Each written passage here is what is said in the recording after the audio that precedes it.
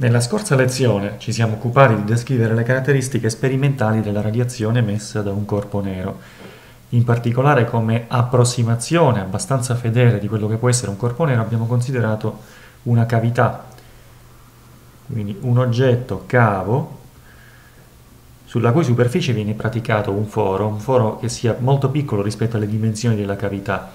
Quando un eh, raggio luminoso entra all'interno di questa cavità, nelle riflessioni successive viene via via assorbito, di conseguenza è estremamente difficile che questo raggio possa di nuovo uscire dal foro praticato. Questa è la migliore approssimazione di corpo nero che abbiamo considerato fino adesso. Bene, è proprio esaminando il comportamento termodinamico di questo tipo di sistema che possiamo cercare un'interpretazione teorica delle caratteristiche della radiazione emessa da un corpo nero quando questo viene scaldato ad una temperatura T. Abbiamo trovato due principali risultati per quanto riguarda le caratteristiche sperimentali.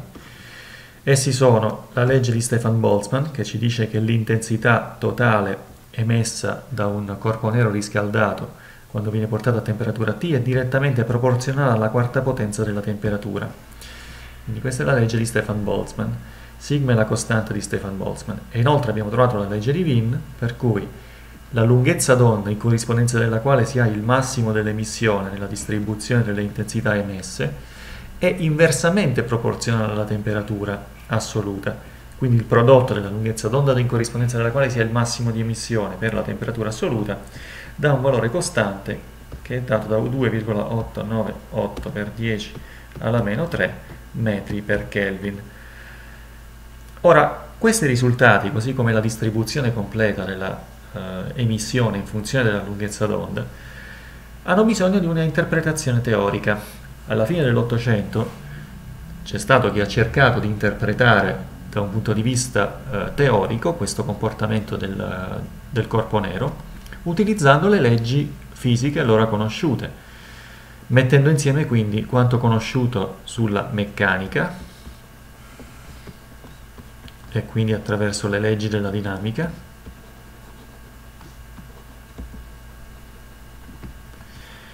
Quanto conosciuto sull'elettromagnetismo?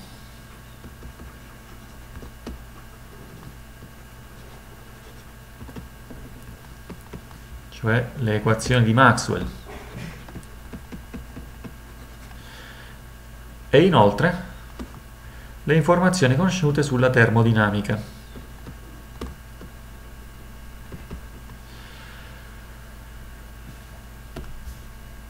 La termodinamica ci permette infatti di stabilire, una volta che un oggetto, ad esempio un corpo nero, venga portato ad una certa temperatura in equilibrio termico a temperatura T, ci permette di stabilire come è distribuita l'energia termica nelle sue varie componenti. Le equazioni di Maxwell permettono di prevedere e descrivere correttamente la propagazione delle onde elettromagnetiche, quindi anche della radiazione emessa da un corpo nero. La meccanica permette di capire come si muovono le particelle microscopiche responsabili dell'emissione e dell'assorbimento della radiazione, per esempio gli elettroni che formano le pareti, che sono presenti nelle pareti interne della cavità all'interno della quale si forma la radiazione successivamente emessa attraverso il foro. C'è un problema però, il tentativo di interpretare il comportamento del corpo nero alla luce di queste leggi si è rivelato fallimentare. Vediamo il perché. Partiamo da un presupposto. Cerchiamo di descrivere il comportamento del corpo nero descrivendo il comportamento della radiazione all'interno di questa cavità, visto che questa rappresenta la migliore approssimazione conosciuta di corpo nero. Se questa cavità viene portata a temperatura T, all'interno si forma una certa quantità di radiazione che, se il sistema è in equilibrio termico, dovrebbe essere in equilibrio termico anch'essa, in equilibrio insieme alla cavità. Quindi si ha uno scambio continuo di energia tra le pareti della cavità e la radiazione elettromagnetica che si forma al suo interno. Attraverso il foro, quindi, la radiazione, la piccola percentuale di radiazione che esce dal foro una volta che il, il sistema venga scaldato, rappresenta quindi anch'essa una radiazione di corpo nero. E allora se noi riusciamo a capire quali sono le caratteristiche della radiazione presente qui all'interno della cavità, potremo capire quali sono le caratteristiche della radiazione di corpo nero emessa attraverso il foro. Ora, la radiazione all'interno della cavità presenta per quanto previsto dall'equazione di Maxwell. Non mi soffermo sui dettagli, ma andiamo soltanto a puntualizzare alcuni fatti fondamentali. Questa radiazione deve essere presente sotto forma di onde stazionarie. Che cos'è un'onda stazionaria? Beh, per capire cos'è un'onda stazionaria e come la descrizione di un'onda stazionaria possa riflettersi nella descrizione della radiazione di corpo nero, facciamo un esempio più semplice che riguarda le onde. Supponiamo di considerare una corda, una corda fissata alle sue estremità, come la corda di una chitarra.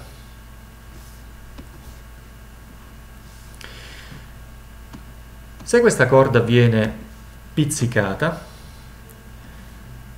essa comincia a oscillare. L'esperienza ci insegna che l'oscillazione tipica di una corda di questo genere fa assumere ad essa una forma di questo tipo. Una volta da un lato, una volta dall'altro, di conseguenza si manifesta nella corda un moto avanti e indietro attorno alla posizione di equilibrio in cui la corda è dritta, che dà origine poi all'emissione eventuale di onde sonore si può subito notare che essendo la corda fissata alle sue estremità, l'oscillazione non può riguardare l'estremità della corda, quindi all'estremità l'oscillazione presenta dei cosiddetti nodi, quindi qui ci sono dei nodi. I nodi sono i punti in cui non si ha alcuna oscillazione o in cui l'oscillazione ha ampiezza nulla. Si può anche notare che l'oscillazione riguarda tutta la corda a eccezione dell'estremità, ma che l'ampiezza di questa oscillazione avanti e indietro risulta diversa da punto a punto della corda. In particolare più ci avviciniamo, ovviamente il disegno è molto approssimativo, ma più ci avviciniamo ai nodi, più l'ampiezza dell'oscillazione si restringe. L'ampiezza massima ce l'abbiamo nella zona centrale. Quindi l'ampiezza è funzione della posizione sulla corda e questa è una caratteristica delle onde stazionarie. Se noi consideriamo invece una corda che non ha delle estremità vincolate, una corda molto lunga di cui non vediamo le estremità, sappiamo che la presenza di una perturbazione su un punto della corda determina il propagarsi di un'onda non stazionaria, cioè questa perturbazione si propaga o verso destra o verso sinistra e quindi dopo un certo tempo la stessa forma della perturbazione la ritroviamo spostata in altri punti della corda. Quindi si ha il propagarsi della perturbazione verso destra o verso sinistra lungo la corda. Una perturbazione oscillante di tipo armonico dà luogo ad un'onda di tipo sinusoidale. Quindi vedremo nel caso normale un'onda non stazionaria la forma di una sinusoide la cui ampiezza ho abbondantemente esagerato, giusto per rendere l'idea, e questa sinusoide dà l'impressione di un movimento verso destra o verso sinistra, cioè i massimi della sinusoide si spostano. Questo spostamento corrisponde alla propagazione del segnale, quindi dopo un certo tempo troviamo la forma della corda in questo modo, cioè la deformazione si sposta e così via. Sappiamo che la descrizione matematica lungo una corda di, un'onda sinusoidale di questo tipo può essere fatta attraverso una funzione di, del tipo y, dove y rappresenta la coordinata dello spostamento verticale della corda, uguale a, dove a rappresenta l'ampiezza dell'oscillazione, coseno di omega t più 2π su lambda x più un'eventuale fase iniziale, un angolo di fase iniziale. Cosa rappresenta questa equazione? La parte dipendente dal tempo, che presenta la pulsazione, rappresenta l'oscillazione verso l'alto e verso il basso del singolo punto della corda, oscillazione di tipo armonico. La parte spaziale invece, quindi la funzione della posizione x misurata lungo la corda, determina l'andamento sinusoidale della forma della corda in ogni istante. Cioè se noi facciamo una fotografia della corda in un determinato istante, in funzione della coordinata x, noteremo ancora la forma di una sinusoide. Però se facciamo passare del tempo, a causa della presenza del termine dipendente dal tempo, questa sinusoide si sposta verso destra o verso sinistra, a seconda del segno che è presente qui. Qui abbiamo dato un segno più, e allora la perturbazione avviene in un verso. Se cambiamo segno, la perturbazione avviene nel verso opposto, ma sempre lungo la corda. Cosa succede nel caso di un'onda stazionaria? Nel caso di un'onda stazionaria noi abbiamo due onde non stazionarie, una che si propaga verso destra e una che si propaga verso sinistra con la stessa ampiezza, la stessa pulsazione e la stessa lunghezza d'onda. la sovrapposizione di queste onde dà luogo ad, un'onda in cui le caratteristiche di dipendenza dal tempo e dalla posizione non sono legate ad un'unica funzione trigonometrica, ad un'unica funzione seno o coseno. Compaiono due funzioni seno coseno separate, una che descrive la dipendenza dalla posizione e una che descrive la dipendenza del tempo. Si può dimostrare infatti che un'onda stazionaria presenta una forma del tipo y uguale a coseno di 2π greco su lambda x per coseno di omega t.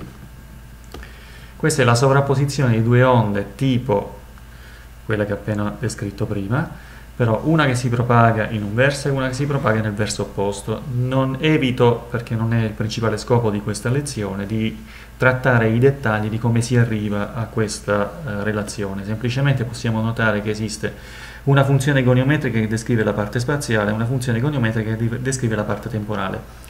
Ora, se noi fissiamo un solo punto sulla corda, si capisce che viene fissata la posizione x, il che significa che questa funzione, dipendente dalla posizione, determina di fatto l'ampiezza dell'oscillazione armonica descritta invece dalla funzione dipendente dal tempo.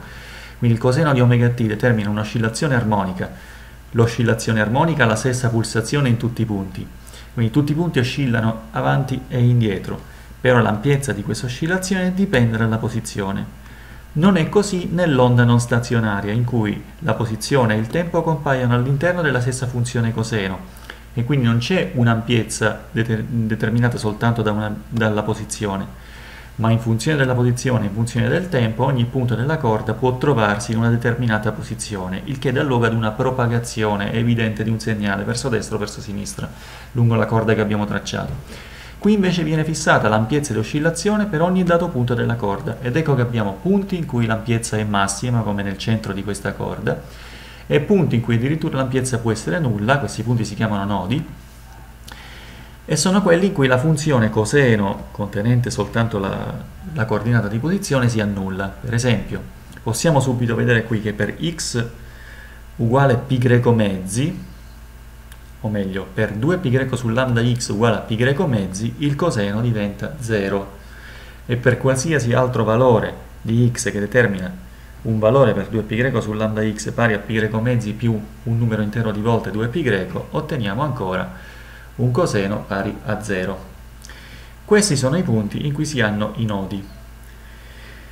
Nell'esempio in questione x uguale 0, poiché dà luogo all'ampiezza massima, perché x uguale 0 dà luogo al valore massimo per il coseno, potrebbe corrispondere esattamente al centro della corda. Invece se noi prendiamo un punto in cui il coseno deve valere eh, 0, dobbiamo avere 2π greco su lambda x uguale π greco mezzi o più o meno π greco mezzi e questo ci permette di trovare i due nodi più vicini lungo la corda. Allora possiamo semplificare π greco con π greco e otteniamo x uguale a più o meno lambda fratto 4. Quindi significa che per x uguale meno lambda quarti e x uguale più lambda quarti otteniamo dei nodi. Il che significa che nella descrizione di questa corda l'intera lunghezza della corda corrisponde di fatto a mezza lunghezza d'onda nell'esempio che abbiamo fatto. Quindi questa corrisponde a lambda mezzi, perché qui abbiamo la coordinata lambda quarti, qui c'è la coordinata 0 e qui la coordinata meno lambda quarti. Quindi un'oscillazione stazionaria di una corda così fatta è un'oscillazione in cui si sta propagando lungo la corda una doppia onda sinusoidale corrispondente ad un'onda stazionaria, la cui lunghezza d'onda è pari a due volte la lunghezza della corda, visto che la lunghezza della corda corrisponde a mezza lunghezza d'onda. Si può propagare lungo la corda anche un'onda stazionaria in cui la lunghezza d'onda corrisponde esattamente alla lunghezza della corda. È un'onda fatta in questo modo. In questo caso è presente un nodo anche al centro e allora qui abbiamo un'onda che ha per lunghezza d'onda l'intera lunghezza della corda. Se sommiamo le lunghezze del massimo e del minimo di oscillazione otteniamo una, una lunghezza d'onda che corrisponde esattamente alla lunghezza della corda. Possiamo ulteriormente eh, tracciare altre onde stazionarie con dei nodi sulla corda. L'importante è che ci sia sempre un nodo all'estremità di sinistra e un nodo all'estremità di destra e questo si può ottenere ogni qualvolta si ha che la lunghezza della corda corrisponde a un numero intero di lunghezze d'onda.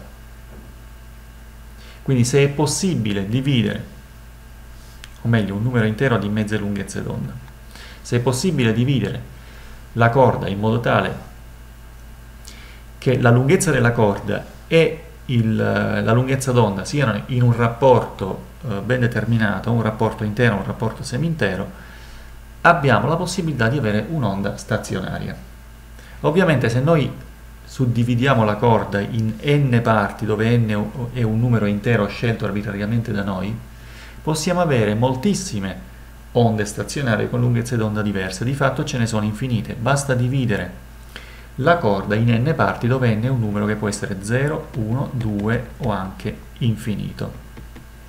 Quindi ci sono infinite possibili onde stazionarie che possono propagarsi lungo la corda, ma questo non significa che tutte le onde che si propagano lungo questa corda possono essere stazionarie. Per essere stazionarie è obbligatorio che ci siano dei nodi all'estremità, questo significa che abbiamo un insieme infinito di onde stazionarie possibili, però in corrispondenza più univoca con l'insieme dei numeri interi. Ora, qualcosa del genere avviene anche per le onde elettromagnetiche, se torniamo all'esempio della cavità. Dentro la cavità possiamo avere una situazione in equilibrio termodinamico con delle onde elettromagnetiche stazionarie che si propagano all'interno della cavità. Queste onde elettromagnetiche devono avere però dei nodi in corrispondenza delle pareti della cavità. È stato Planck che si è occupato in dettaglio di studiare l'interpretazione teorica della radiazione di corpo nero e il modo più semplice per seguire il ragionamento fatto da lui, anche se non in modo completo, è quello di considerare una cavità di forma cubica. Quindi quello che possiamo fare è immaginare che la cavità sia di forma cubica, il ragionamento si fa su questo tipo di cavità, ma poi è valido in generale, una volta che il sistema sia in equilibrio termodinamico.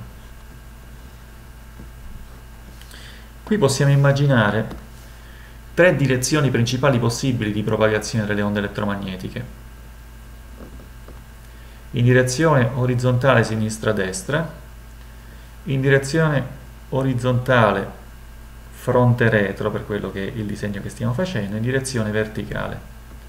Ovviamente le onde possono propagarsi in entrambi i versi, quindi possiamo avere onde che fanno sinistra-destra e tornano indietro, onde che fanno avanti e dietro, onde che fanno su e giù. Ovviamente ci sono anche tutte le possibilità intermedie con onde oblique, ma è possibile scomporre il problema in queste tre direzioni principali.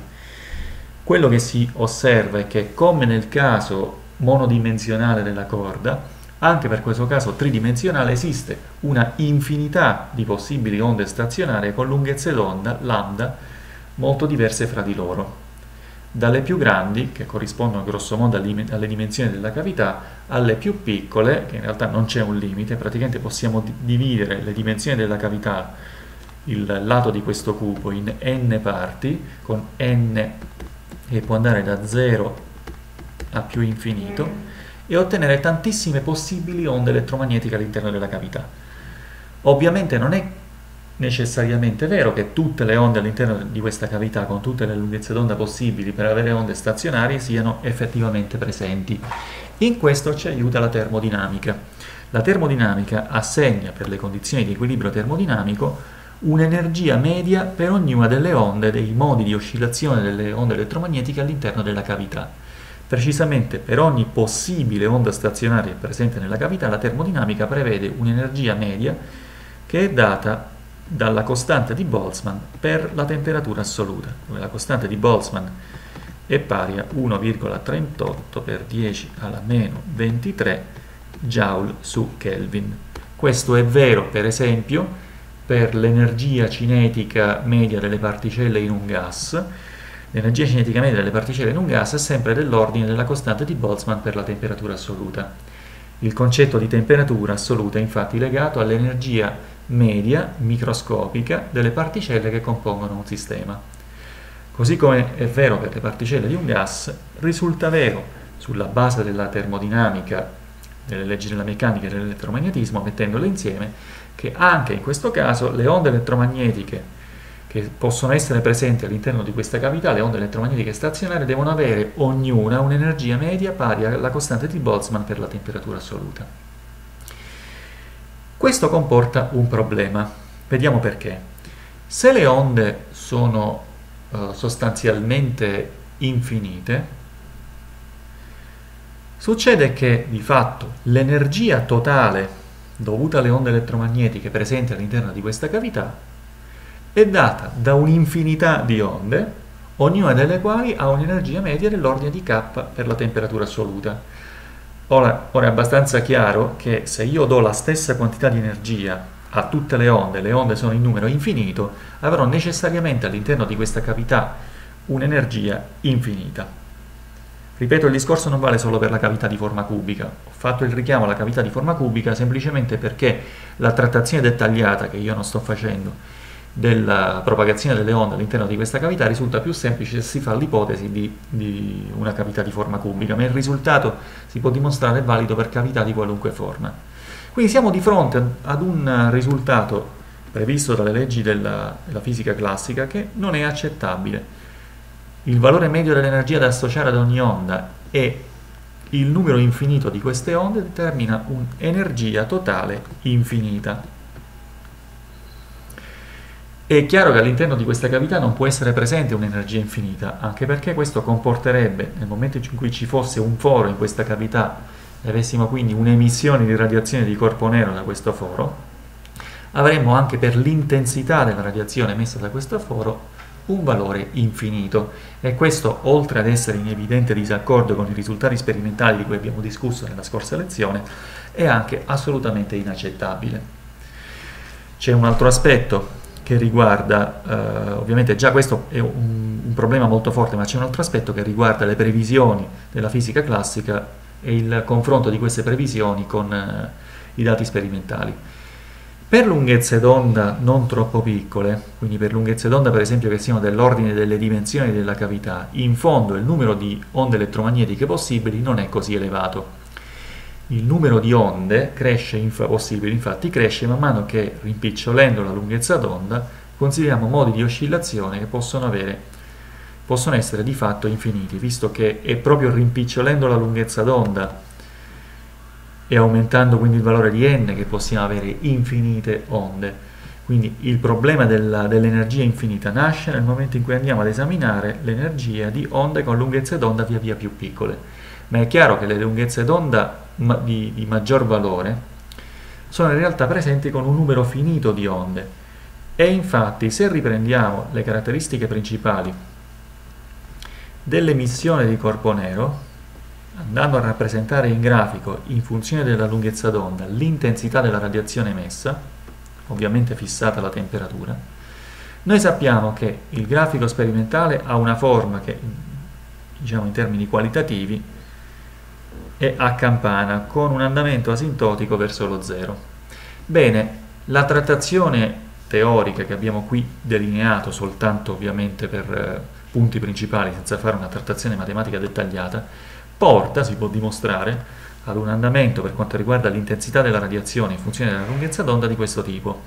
Per grandi lunghezze d'onda si ha un andamento asintotico come quello sperimentale, quindi i due andamenti, quello sperimentale e quello teorico, sono sovrapponibili ma nel momento in cui si va per lunghezze d'onda più piccole che si avvicinano al massimo dell'emissione misurato, la curva teorica ha un andamento di questo tipo, con un andamento asintotico a più infinito nel momento in cui lambda tende a zero. Per lambda tendenti a zero, l'intensità in funzione di lambda tende a più infinito. Ora, l'intensità complessiva emessa dal corpo nero sappiamo è data dall'area in questo grafico sottesa dalla curva che rappresenta l'andamento dell'intensità in funzione della lunghezza d'onda, quindi quest'area che ho evidenziato in giallo. È chiaro che se io dovessi andare a calcolare l'area invece della curva teorica, quindi anche quest'area, si può vedere che quest'area risulta infinita, cioè l'integrale improprio che viene calcolato considerando la curva teorica è un integrale che se calcolato fra 0 e più infinito per le lunghezze d'onda, in particolare con riferimento allo 0, porta ad un valore infinito. Quindi anziché ottenere e riprodurre la legge di Stefan Boltzmann, per cui l'intensità complessiva emessa in tutte le lunghezze d'onda dovrebbe essere proporzionale alla quarta potenza della temperatura, la previsione classica è che l'intensità debba essere infinita. La legge teorica classica invece funziona abbastanza bene per grandi lunghezze d'onda, quindi in questa regione. Qui infatti il problema del numero infinito di onde non si presenta. E questa legge che dà un andamento dell'intensità in funzione della lunghezza d'onda con una proporzionalità che va come 1 su lambda alla quarta, quindi l'intensità in funzione della lunghezza d'onda è proporzionale a 1 su lambda alla quarta, questa qui va sotto il nome di legge di Rayleigh-Jeans. È la legge classica e funziona solo per grandi valori della lunghezza d'onda, ma è in evidente disaccordo con i dati sperimentali per piccoli valori della lunghezza d'onda. È chiaro che qualcosa nell'interpretazione classica non funziona, visto che la curva sperimentale, quella effettivamente che eh, rappresenta il, il comportamento del corpo nero reale, quella che qui abbiamo rappresentato in rosso, non è in accordo con la legge di Rayleigh-Jeans. Di conseguenza è necessario rivedere qualcosa nell'interpretazione classica. La revisione che noi facciamo fa riferimento alla cosiddetta ipotesi di Planck. In cosa consiste questa ipotesi?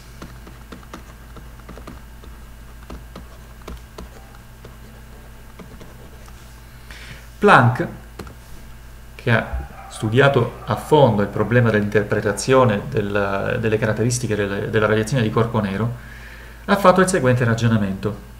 La termodinamica assegna ad ognuna delle onde elettromagnetiche stazionarie presenti all'interno della cavità un'energia dell'ordine di costante di Boltzmann per la temperatura assoluta. È chiaro che il problema principale visto che nessuno ha messo in discussione, non ci sono ragioni per mettere in discussione il conteggio delle onde stazionarie, il problema principale nel risultato classico consiste proprio nel calcolo di questa energia media da associare alle onde stazionarie, cioè il fatto che l'energia epsilon media associata ad ogni onda sia sempre uguale, indipendente dalla lunghezza d'onda, determina quella che si chiama catastrofe ultravioletta.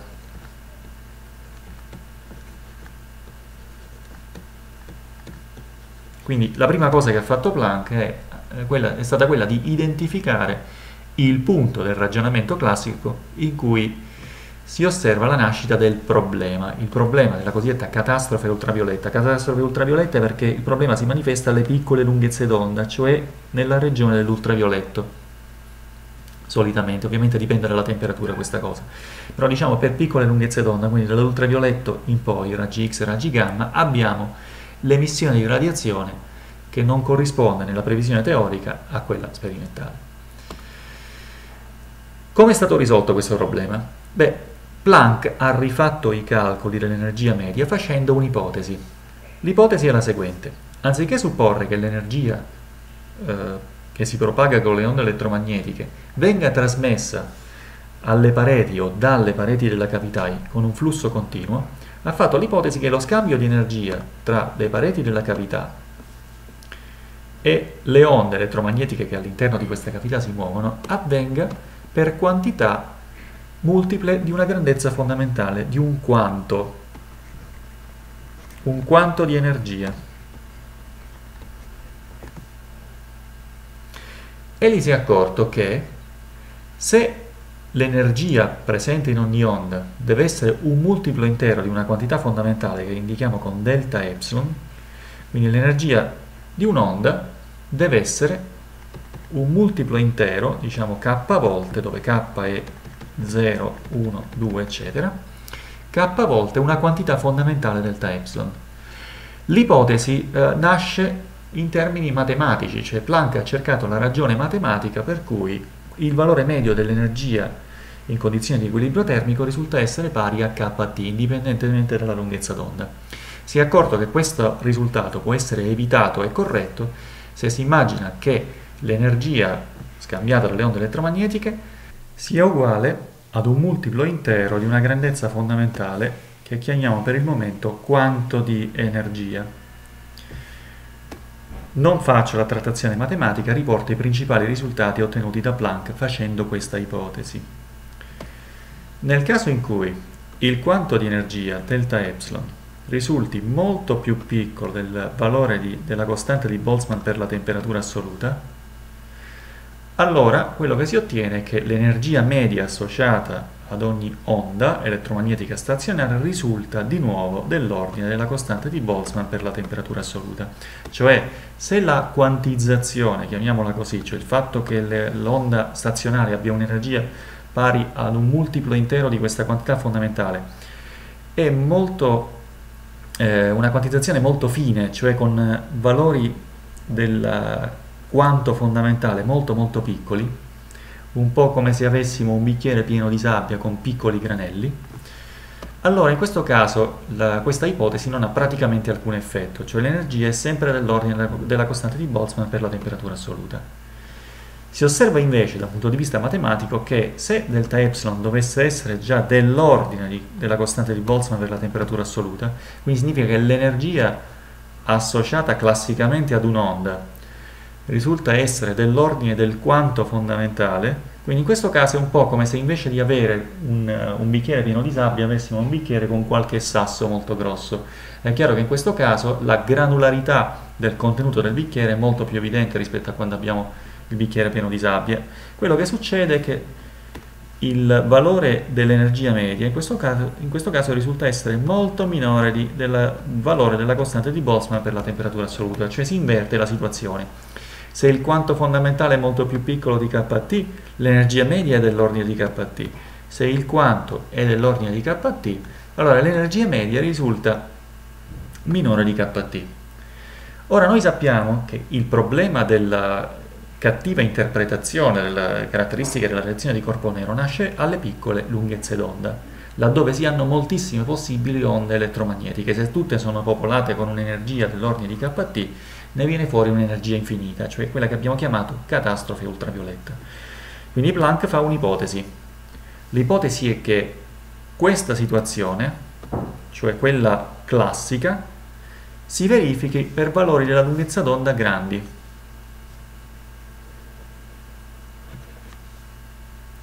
Laddove invece la trattazione teorica classica fallisce, cioè per piccoli valori della lunghezza d'onda,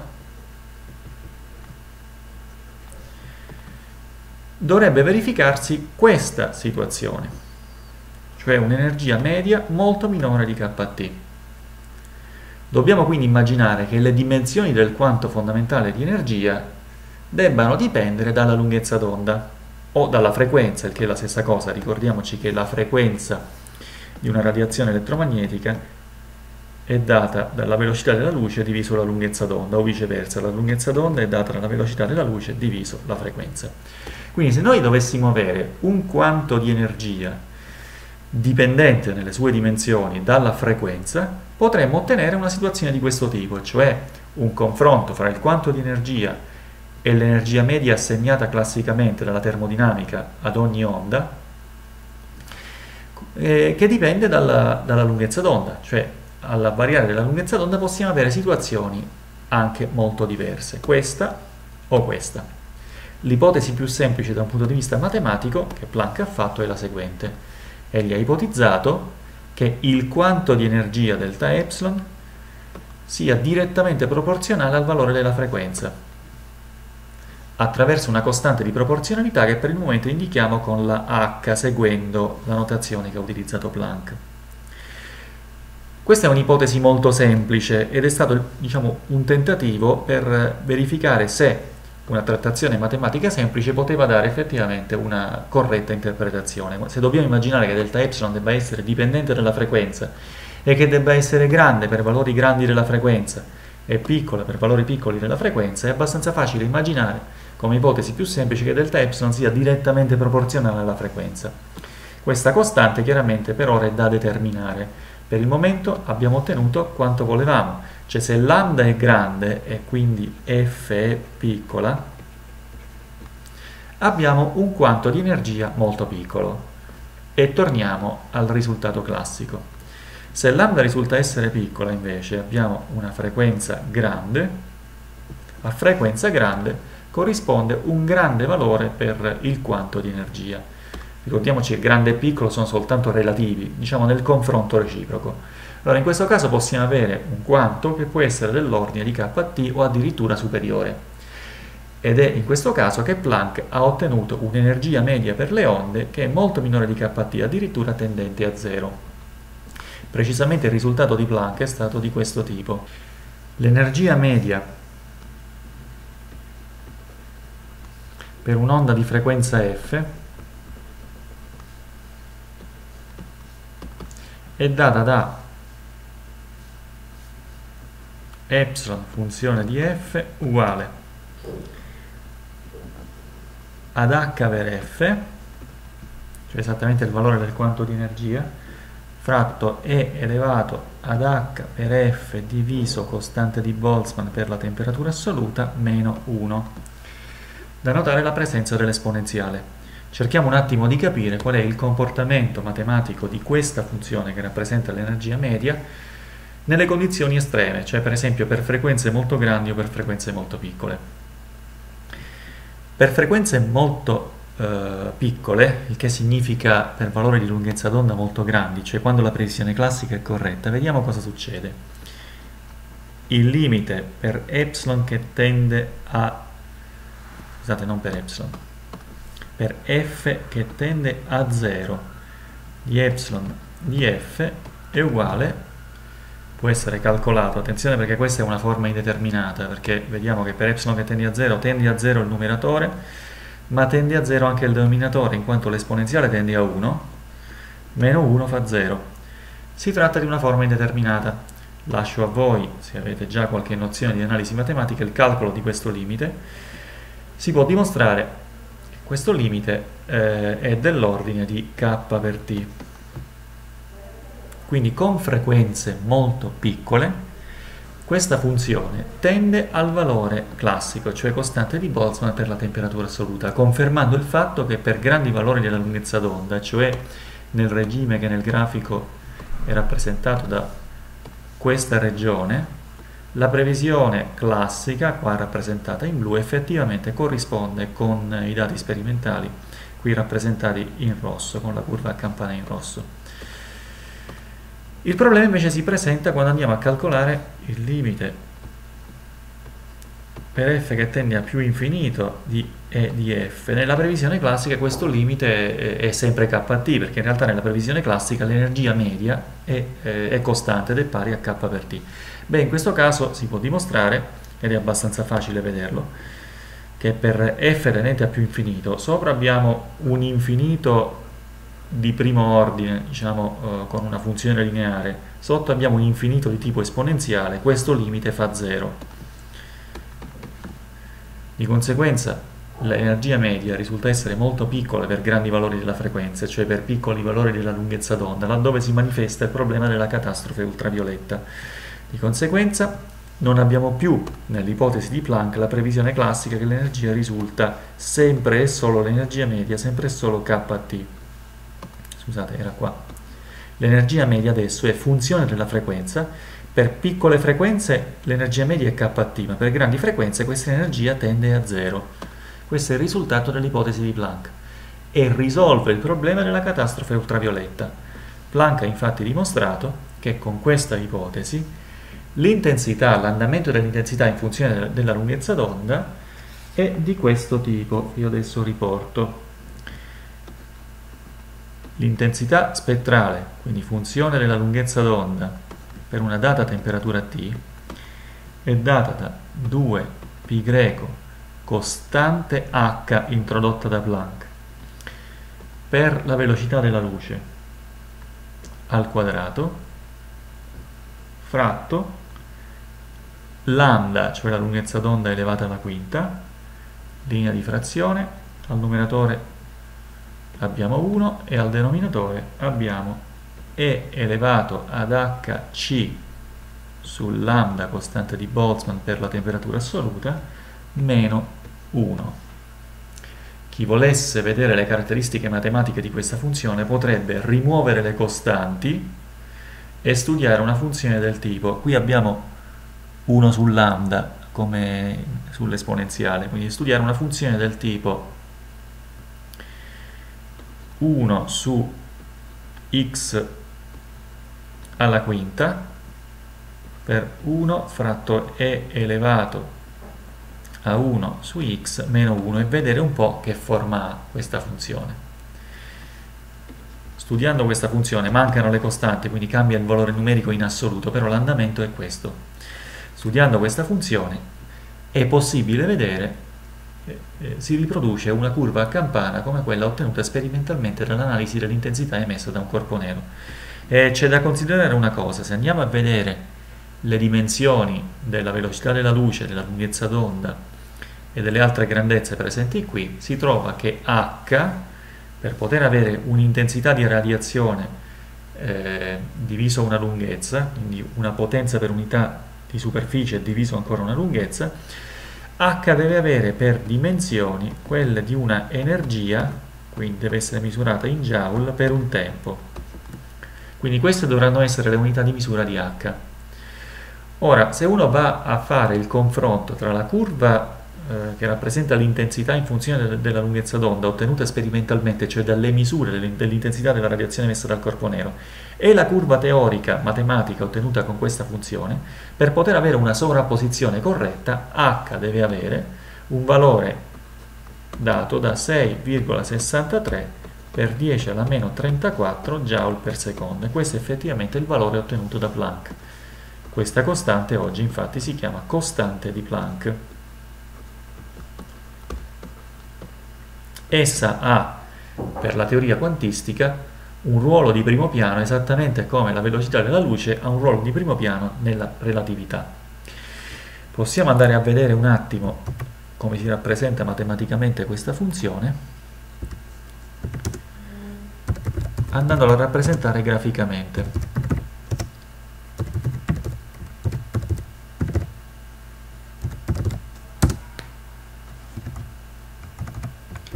scusate un attimo, dobbiamo richiamare il programmino che la visualizza. Ecco qui. Il programmino eh, sviluppato in questo caso non fa altro che rappresentare la funzione matematica che vi ho indicato in funzione della lunghezza d'onda, lambda. E infatti in ordinate abbiamo una potenza per unità di volume, cioè una potenza per unità di superficie diviso la lunghezza d'onda, perché poi l'integrale di questa funzione deve dare una potenza per unità di superficie, cioè effettivamente un'intensità di radiazione. Qui la funzione è rappresentata, non, queste non sono curve sperimentali, sono curve teoriche, è rappresentata per diversi valori della temperatura. Ve l'ho mostrata già durante la prima lezione questa funzione. Al variare della temperatura si si ottengono delle curve a campana dando ad h il valore della costante di Planck che vi ho indicato, effettivamente queste curve teoriche rappresentano correttamente l'emissione di corpo nero eh, per come viene fuori dalle misure. Quindi questa funzione rappresenta effettivamente la corretta espressione dell'emissione di corpo nero viene tenuta sotto l'ipotesi di Planck, cioè l'ipotesi fondamentale per cui lo scambio di energia tra elettroni responsabili dell'assorbimento dell'emissione di radiazione e la radiazione stessa non avviene in modo continuo ma a pacchetti. Ed ogni pacchetto ha un'energia fondamentale, delta epsilon, che è data dalla costante di Planck moltiplicato la frequenza, il che significa che questo pacchetto risulta essere grande per radiazioni di elevata frequenza, le cosiddette radiazioni ionizzanti, e piccola per radiazioni di bassa frequenza, quali possono essere per esempio le microonde o le onde radio. La cosa fondamentale è che questa ipotesi, inizialmente fatta da Planck soltanto per risolvere matematicamente il problema, ha dato di fatto inizio alla teoria quantistica. La sua efficacia nel, nel fare interpretare correttamente l'emissione della radiazione di corpo nero è stato soltanto l'inizio. In realtà questa stessa ipotesi ha per esempio permesso di interpretare correttamente altri fenomeni, come per esempio l'effetto fotoelettrico o l'effetto Compton, di cui parleremo nelle prossime lezioni.